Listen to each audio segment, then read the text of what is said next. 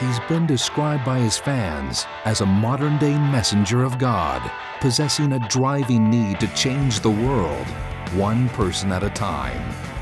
His fans have marveled at his ability to defy the odds and create an unusual amount of buzz seen only twice before in musical history. Brian Taraz, a self-made musical genius, has created his own brand of music, deeply glazed with a spiritual message and a true appreciation for the bizarre. His most loyal fans have stood behind Brian's turbulent times as they watch their star weather debilitating addictions to cigarettes, Diet Coke, coffee, and french fries. But even after all the heartbreak and an uncontrollable passion to poke fun at the world, Brian continues to press on.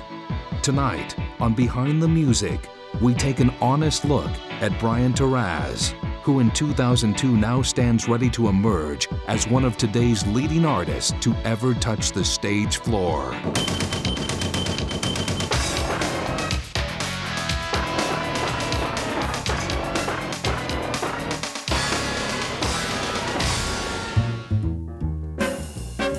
Born Brian Gerald Taraz on November 7, 1962 in Flushing, New York. His parents, Mariel and Hushman Taraz, described him as a beautiful baby and a joy to the entire family. As an adolescent, he was drawn to the rock and roll sounds of Ozzy Osbourne, AC/DC, and Kiss. Oftentimes, he would dress up in black, wearing his favorite school cap, and run to the corner warning of Armageddon. Although he was drawn to the dark side of the rock and roll machine, Brian's musical dream was a slow boiling passion waiting to strike out against the world. As Brian evolved into his early 20s, he found himself in the media capital of the world, New York City. And while he was still waiting for his chance to make his mark in music, he decided to embark on a new career in television. 1984 was an infamously historical year as Brian Taraz met his good friend and business partner Andrew Bikel. Together, these two would forge a friendship deeply rooted in personal attacks, sprinkled with an exhausting level of verbal abuse reminiscent of Abbott and Costello or the Marx Brothers. Well, I tell you what I think. I think we should have a standing army. Why should we have a standing army? Because then we save money on chairs. The need for creative control was so large that had pushed these two friends toward violent and uncharted territory. It was on a chilly spring day in 1984 that Brian proclaimed that one day they would make a video together. No less than one year later, and barely $200 between them, the two grabbed a midnight flight and ventured to Columbus, Ohio to attend the Baha'i Youth Conference at Ohio State University. The experience, although draining and at times difficult, provided Brian with the confidence to show off his talents, often in front of the camera. These lost videos were recently recovered in a garage sale at the burned out home of Leo Birnbaum of Mount Vernon, New York. What's your problem anyway? Hey, what's yours? You know, you're a real asshole. I don't know why I got with you anyway. Dude, dude, Tom's not here, and he's not out there, and he's not here either. Sir, how was this flight for you? This flight was just like any other flight. Uh, we had our, you know, small mishaps and such, but uh, other than that, I think you guys came out of it relatively clean. Excuse me, Mr. Koppel. Yes, no, I'm sorry, it's Mr. Downey to you, buddy. Uh, Mr. Mr. Downey, in Iran, we have for years suffered at the hand of the American imperialism.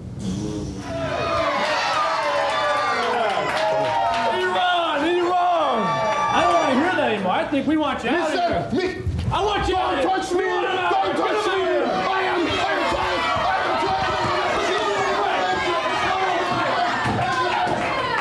trying. So I think to myself, what do we do on a Saturday night? What kind of audience do we want? And I say to myself, Saturday night, tough flicks. Huh? You like the idea?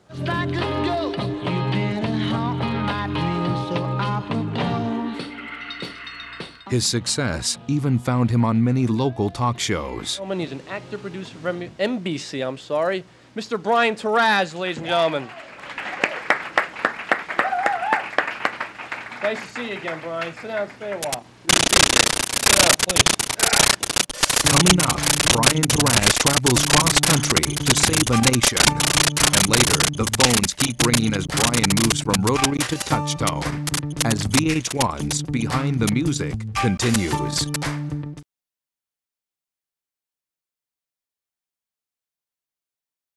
In 1985, Brian and Andrew found employment at Michael Krause Productions, a small TV production company producing programming featuring Good Morning America's Joan Lunden.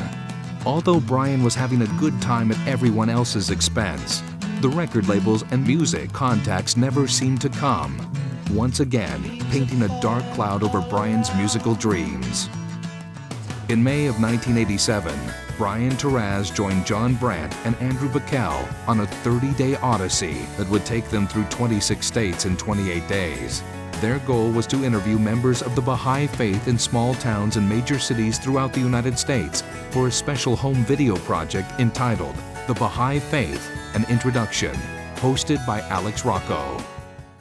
At times, these three souls were overcome with the pressure and the pain of spending nearly 30 days on the road, eating every meal at Denny's, and suffering from a lack of privacy. In fact, witnesses recall a moment where Andrew became so outraged at Brian's constant nagging, he kicked at him at a gas station in Oklahoma City, Oklahoma.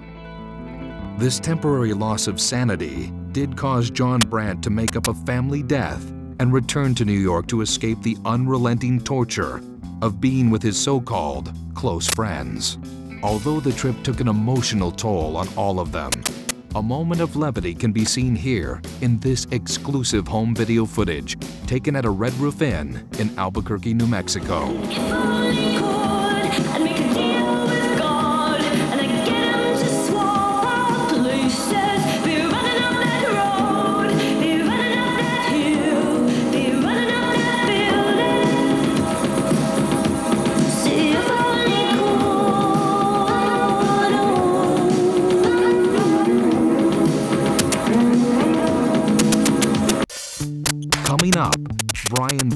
Jesus a new home. And later, he puts together a supergroup in hopes of getting free food at a Chinese restaurant as VH1's Behind the Music continues.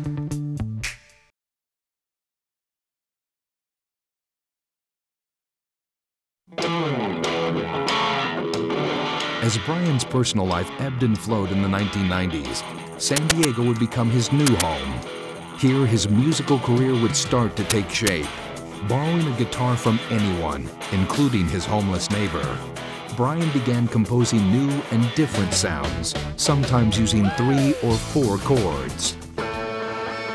But it was in 2001 that Brian Taraz made a complete transformation by blending together a new musical sound with the words of Jesus Christ and the Old Testament. Brian Taraz would now become that modern-day prophet he so desperately wanted to be. His music, called Scripture Rock, began to consume his every breathing moment. In 2002, he formed the B-Side Prophets with bassist Eric Anderson, drummer Jeff Anderson, and guitarist Drew Palmer.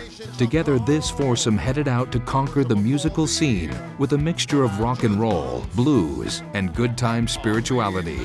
Their first gig was at the Bamboo Terrace, a favorite hangout in Costa Mesa, California, where orange chicken and Mongolian beef provided the necessary appetizer to an entree of the seven plagues and let there be light. For Brian, 2002 was a pivotal year in his musical career. He continues to balance his life between being a father, a husband, and a modern-day musical prophet, waving his hands in support of Jesus and the Quran. From Flushing, Queens to San Diego to New York and beyond, the heavens shine down on Brian as he touches us all, one person at a time.